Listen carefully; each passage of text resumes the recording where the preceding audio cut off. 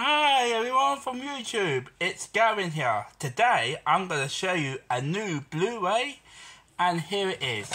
It's called If. It's only just come out this week but I got it a few, few days ago before it came out because I had it on pre-order.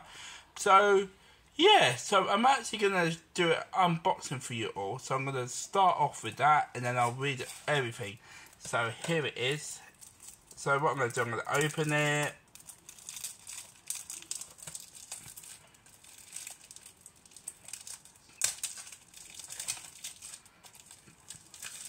The thing is, I'm not keen with the um, slim boxes because I don't really like slim boxes.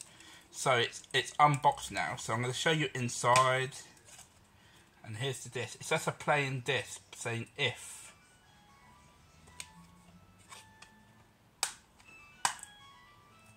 So it's the front, back, side, and you know what? I'm actually not keen with these small boxes because I don't really like these. So, yeah, but it's the first time ever I bought this on Blu-ray, but I haven't seen it yet, so I might watch it over the weekend. Um, and it, the running time on here is where's the open? Uh, not open. Uh, running time. So what? Where is it? Open time. Open time. It's a bit weird that it hasn't got it open time. So here's the back, the side. But this is this is actually quite a good, good. It looks good, but I haven't seen it yet.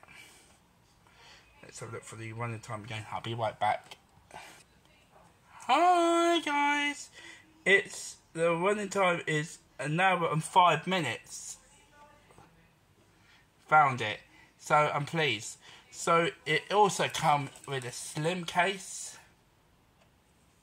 Yeah. But I'm pleased to tell you it's got four stars. I'm not sure if it's good or not.